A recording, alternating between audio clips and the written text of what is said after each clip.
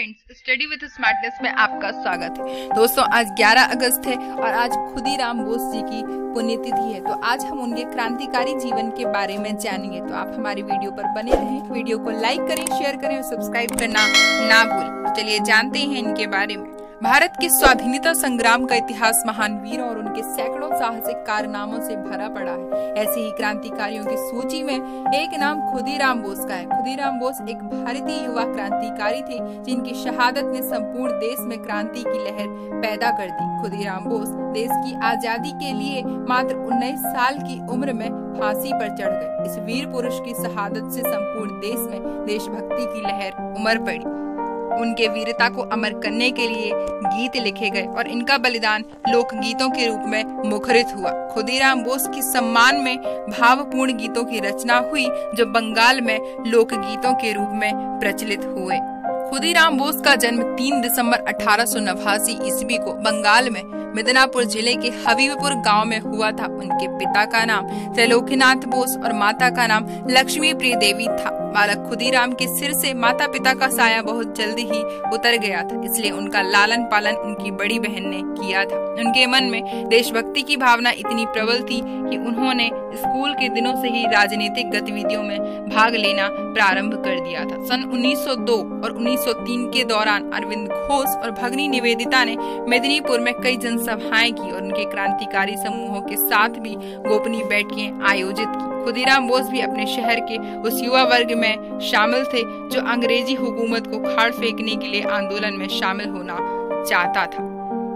क्रांतिकारी जीवन कैसा था? बीसवीं सदी के प्रारंभ में स्वाधीनता आंदोलन की प्रगति को देख अंग्रेज़ों ने बंगाल विभाजन की चाल चली, जिसका घोर विरोध हुआ। इसी दौरान सन 1905 ईस्वी बंगाल विभाजन के बाद खुदीराम बोस स्वाधीनता आंदोलन में कूद पड़े। उन्होंने अपना क्रांतिकारी जीवन सतीन बोस के नेतृत्व में शुरू किया था। मात्र 16 साल की उम्र में उन्होंने पुलिस स्टेशनों के पास बम रखा और सरकारी कर्मचारियों को निशाना बनाया। वह रेवोल्यूशनरी पार्टी में शामिल हो गए और वंदे मातरम के परिचय वितरित करने में भी महत्वपूर्ण भूमिका निभाई।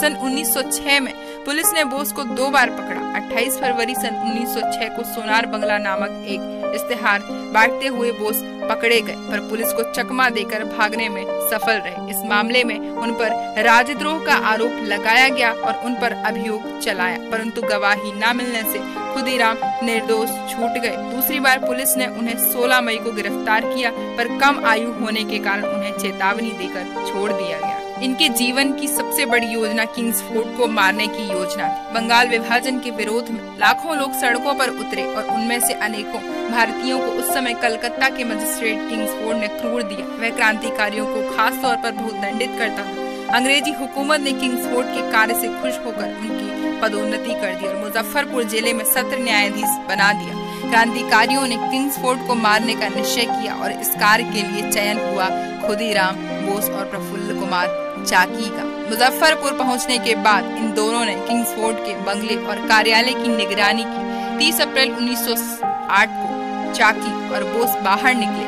किंग्स फोर्ट के बंगले के बाहर खड़े होकर उसका इंतज़ार करने लगे। खुदीराम ने अंधेरे में आगे वाली बग्गी पर बम फेंका और उस बग्गी में किंग्स फोर्ट नहीं, बल्कि दो यूरोपियन महिलाएँ थी जिनकी मौत हो गई। अफरा तफरी के बीच दोनों वहाँ से नंगे पाँव भागे। भाग भाग कर थक गए। खुदीराम वैनी रेलवे स्टेशन पहुँचे और वहाँ एक चाय वाले से पानी मांगा, पर वहाँ मौजूद पुलिस वालों को उन पर शक हो गया और बहुत मुशक्कत के बाद दोनों ने खुदीराम को गिरफ़्तार कर लिया। गिरफ्तारी और फांसी खुदीराम बोस को गिरफ़्तार कर मुकदमा चलाया गया और फिर फांसी की सजा सुनाई गई।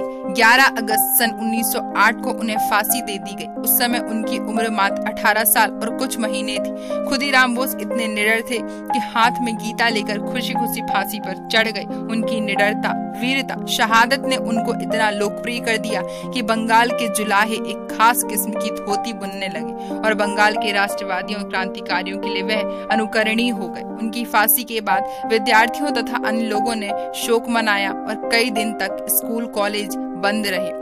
इन दिनों नौजवानों में एक ऐसी धोती का प्रचलन हो चला था, जिसके किनारी पर खुद ही राम लिखा होता था।